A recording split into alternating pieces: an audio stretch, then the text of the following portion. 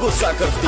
भाई फेंक दो ना लोढ़ा गुस्सा कम करो थोड़ा चूड़ी फूट जाई